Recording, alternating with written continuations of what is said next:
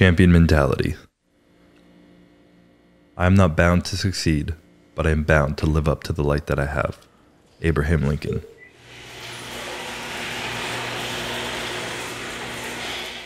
Winning isn't once what I thought it was. I found it to be much more complex than our traditional definitions of success. A lot of people fall to their knees in tears after a big accomplishment, partly due to joy and gratitude, but a lot of what you see is relief and even fear. I don't say this to be cynical, but I've heard it from various people and experienced it myself. It's a crucial moment in a person's journey where you need to ask yourself what winning means to you. Otherwise, you get stuck in a hamster wheel, chasing a potentially non existent result. What I found is that winning doesn't happen on show day. It happens in those early mornings, painful workouts, long cardio sessions, and hungry nights. It happens in those moments of fear we all have when faced with a difficult goal, and then more so in what you make of that fear. It happens in every second of every day before you win.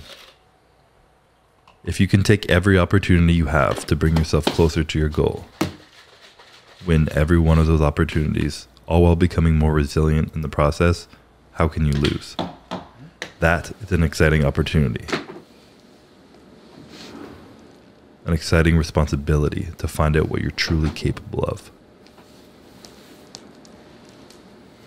A medal around your neck and a trophy in your hands provides but a moment of relief.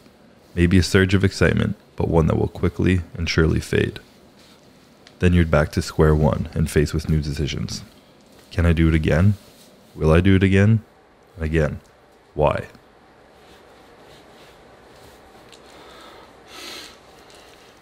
These are new challenges you face now. You are so focused on winning, you didn't plan for what comes next. After all that hell you just put yourself through, are you ready to do it again, but with more intensity? If you're not improving, you're falling behind now. You've shown the world what you're capable of, and expect nothing less. Another scary but exciting opportunity. Another opportunity to grow. You may have busted your ass and gotten lucky once, but that was then, and this is now. You can work 10 times smarter and harder than you did before, but you're still promised nothing. Entering hell blindly with no promise of what's on the other end is one thing, but getting to paradise and then choosing to turn back around into hell, full well knowing what to expect this time, with a pipe dream of a better paradise on the other end waiting for you, that's insanity. But history has a habit of calling ambitious people crazy. There's no guarantee of what you'll find on the other side of hell. You may even be crazy enough to learn that it was never hell to begin with. Maybe, just maybe, you can open your mind to the possibility that paradise is found in how you choose to look and act in this world. Paradise, like our goals, may not really be a destination, but an endless horizon we secretly don't want to reach. A never ending reason to keep working and growing. With the intention not to accomplish goals, but to become someone who can accomplish any goal.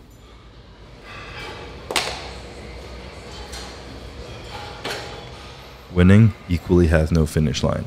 It's about the responsibility to ourselves to take control of what little things you can in this world, regardless of circumstance. To train your mind to switch your perspective and focus on being the absolute best you can be in the areas you do have control over. Having a champion mentality isn't about the trophies, medals, or success. It's about having no quit. It's not letting anyone hear you complain, standing up for all you believe in, living in your truth, and setting the standard at which you operate at for everything in your life.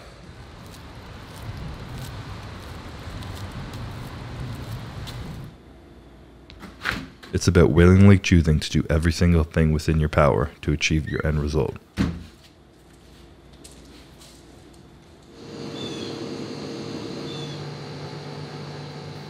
At the end of it all, you may just find that the trophies and money were never the prize you wanted, but rather the journey and the mentality you built along the way with everything you ever needed.